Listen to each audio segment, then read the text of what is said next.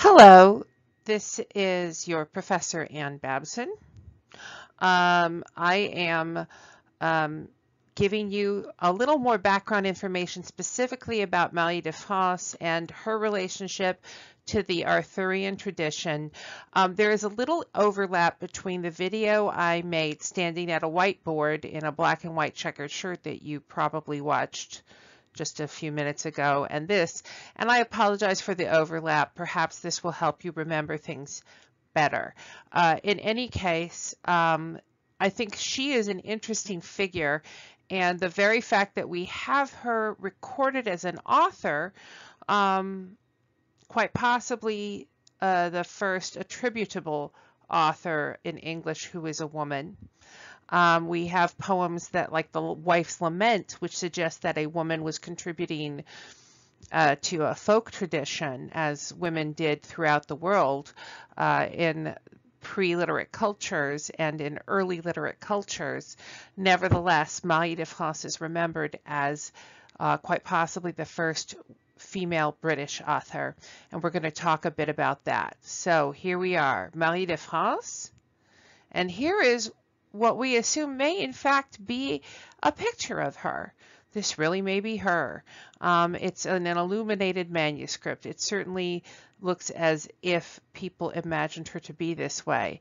And we're going to talk about the Arthurian romance in Anglo-Norman literature. Uh, first, uh, let's talk about uh, where she wrote and in what she wrote. Um, Marie de France was a woman of some privilege living during the 12th century in England. She's not an Anglo-Saxon writer. Um, she's not Anglo-Saxon, as her name suggests. She is from France. Um, she's a part of the court of England, possibly the half sister of King Henry II. Um, they don't know that for sure, but she is part of an Anglo-Norman court. I'll get into what that means in a minute because there is a huge political shift in 1066 AD from the Anglo-Saxon era into the Anglo-Norman era. Um, and the language materially changes, uh, as I believe you have seen in my discussion of speaking English. Uh, and the language of the court when Marie de France lived there was neither English as we know it, uh, nor Anglo-Saxon, which we've been talking about, but instead they spoke a precursor of both modern French and of modern English, Anglo-Norman, a dialect of Old French. Um, and the Normans invaded England and took it over for quite a few years, centuries. Uh, and this was a major upheaval. There were still people talking in Anglo-Saxon English, Old English, um, for some centuries afterwards, but they did not have power in government.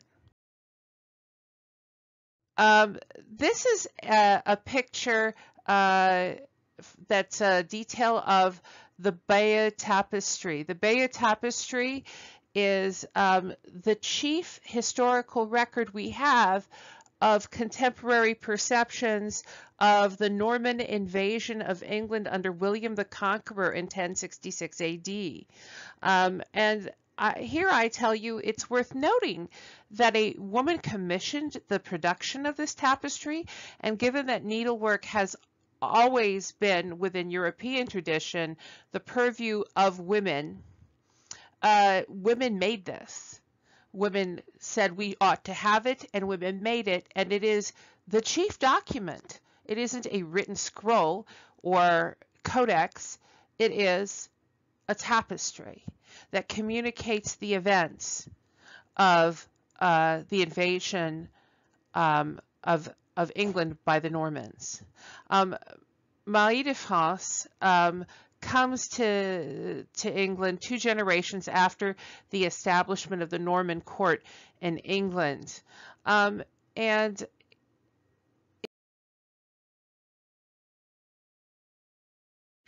historical records and we have a woman author. What was the attitude toward women in the Norman court?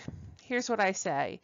Um, attitudes uh, were a mixed bag toward women. On one hand, the church had firmly established the fault of the fall of humanity uh, from grace uh, in the hands of Eve. Uh, Eve ate the apple uh, first, or the fruit of the knowledge of good and evil first. And this is a fundamental problem for Christianity into the early 20th century in some schools of thinking. Um, uh, basically, if you read the original text, Adam and Eve both sin. And the Bible itself talks about the sin of Adam being uh, superseded by the sin of Christ. Um, and but in this era, uh, it was all Eve's fault as far as the men of the church were concerned, the ones who taught things from the Bible to an illiterate population that could not evaluate the Bible for themselves, uh, which meant that if two men committed a robbery, yes, those men should go to jail, but ultimately the fault laid at the was laid at the the foot of womankind because women ate the apple and every woman bore as a consequence of it the the curse of Eve, which was understood to be pain and childbearing, but also to have a worse character than men fundamentally. Uh, contemporary theologians, contemporary preachers tend not to think this at all. Um, and thank God. And um, there were even medieval scholars who thought that once you have the blood of Jesus, uh, uh, sin is washed away not for, just for men but for women as well. Um, so, but women in the Anglo-Norman court are thought of as essentially secret agents of the devil, like all women were in the eyes of the church. But on the other hand, the Normans had a tradition of noble women sometimes participating in government, often in the form of a regency for an infant king. There was also a civil war prior to the elevation of Henry, where Henry's uh, um, uh, uh, relative Queen Maud, uh, as she was called, was trying to take over the government because her father said, I want her to be in charge. But the brother said, uh uh-uh, uh, we are not doing that. We're not letting the girl be in charge. And there was a, a very vicious civil war.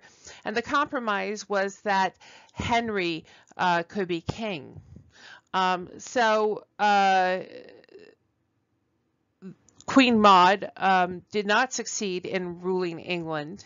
However, um, there had been a very open attitude toward women. Women could inherit land and titles uh, when the males of their lineage were all deceased. And um, Henry II, the half brother potentially of um, uh, of, of Marie de France, married one of the most outspoken and interesting women of all European history, Eleanor of Aquitaine, who decided, for instance, to go on the Crusades like uh, uh, with other women in, in an Amazon style, where she was essentially topless with her ladies. And um, she orchestrates a divorce uh, from her husband that bores her so she can marry King Henry II. And then when King Henry II doesn't let her have, in her view, a sufficient say over the government, she basically pits her son against the uh, uh, against her husband to enact a civil war in order for her to rule effectively as a regent. She is incredibly smart, incredibly determined. Um, surely a diva if ever there was one. Uh, and, and she is reviled by Henry II. He is so mad at his his estranged wife. He has her thrown uh, under house arrest in a castle. Like we should all get to go to that house arrest. Nevertheless, he realizes how close he was to losing his power because of his estranged wife and he is really mad at women in general. Um, de France lives in this world where there is tension and also some acknowledgement of women's uh, capacity to um, to to to reason and to think, but also a distrust of them as fundamentally evil because of Eve.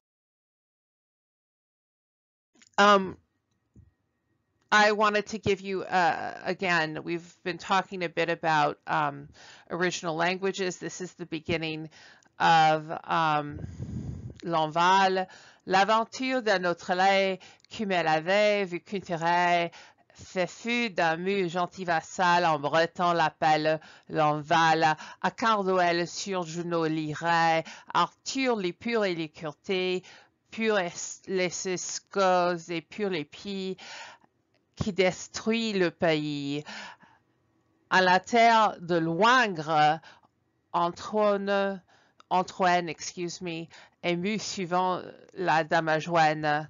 Et la à la Pentecoste en Esté, il y avait des rêves surjournés. Um, it's this told in a sing-songy folk tale style. All the lays that are in your book that you can see in the original have this quality of rhyming folk tale.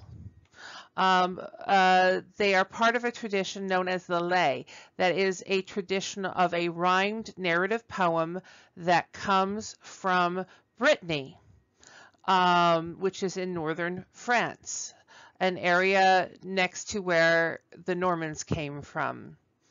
Um, and uh, they tell this kind of story.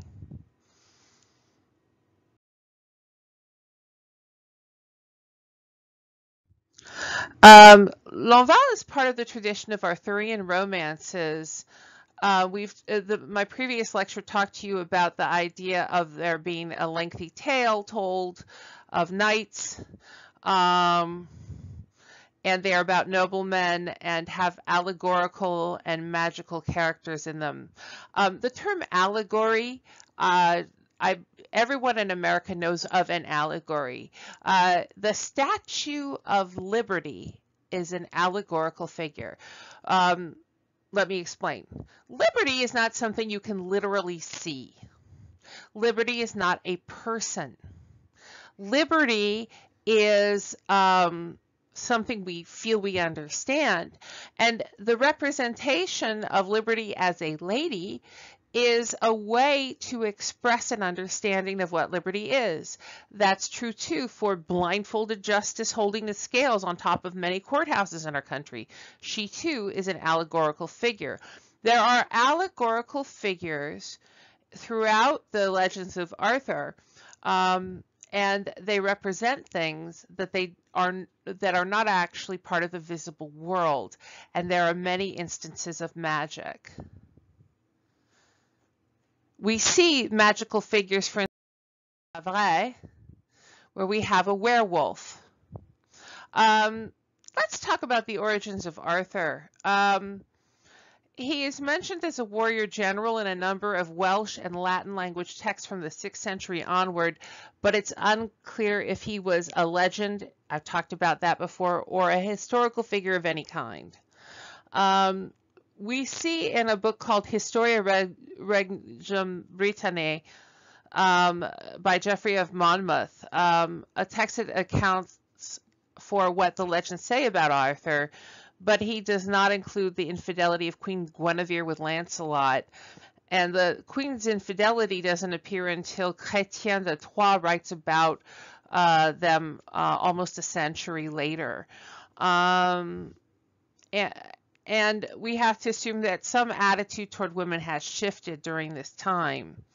Um, it's typical of all Arthurian narratives that the author feels free to adapt the story to discuss political issues contemporary to the author rather than to Arthur. Um, in her doing uh, the work in Lanval, we must assume that Marie de France did this as well, and she seems to have some things to say about women's agency. Um, we have a variety of characters who appear. You'll see them, some of these um, in the works of both the Gawain poet, who we're going to read, and in Marie de France. We have, of course, King Arthur, Guinevere his wife, Sir Gawain who is brave, Sir Galahad who is chaste, Sir Lancelot with whom the queen falls in love, uh, Merlin who is the magician and counselor to Arthur, and Morgana Le Fay who was a sorceress. I mentioned all of this in my other Specifically in Lanval, um, Arthur's tale is adapted by Marie de France, and fairy women, like women, appear out of nowhere in a variety of medieval romances. Again, not meaning romantic stories, but tales. But it's rare for a knight to get rescued by a damsel rather than a damsel getting rescued by a knight. You will notice that the rescuer who rides to the rescue of the central figure is not a knight. The knight gets rescued by his fairy uh, lover. And uh, the proposition that Lancelot uh, normally gets is given to Lanval. And there are some similarities in Lanval's situation with the Queen and Joseph's situation with Potiphar's wife in Genesis. Um, you may recall in the story of Joseph, uh, he is slave to a man named Potiphar in Egypt, and the wife of Potiphar makes a pass at Joseph, who refuses to um, have sex with her, and because of that, she maligns him and says he tried to rape her, and he's thrown in jail. Um, the fact that the text of Marie de France echoes the story from uh, the the Old Testament means that Marie de France was at least acquainted with stories and quite probably um, was able to read in Latin uh, the book of Genesis. It would not have been un, uh, unthinkable that a woman would have access to that in King Henry's court. Uh, the queen is not disgraced in the end, only proven wrong, which is interesting. Um, if Marie de France wanted to say that that uh, adulterous women were bad, she probably would have written other kinds of stories. There's a whole lot of adultery in Marie de France's stories, um, and people are unhappy in their arranged marriages, and they seem to um, try to have a better romantic relationship with somebody else to limited degrees of success. Her, her love stories are not happy ones, but she is not prepared to condemn in this story Queen um, Guinevere, which is worth noting. She often writes about star-crossed lovers. Nobody's happy in her romances. Um, she writes love poems in French, and they're all about the pain of love. Her stories are about unhappy married women and the lovers they attempt to have. Attempt is the operative word here. Um, it may be a semi-autobiographical account of her own sad marriage. Um, sadly, we're not reading the Canterbury Tales. I would love to just park the car here, but we have a survey of all of British literature to go through. We're going to read Sir Gawain and the Green Knight. You will see infidelity is a continued theme in the works of um, the late Middle Ages there, but we're not specifically reading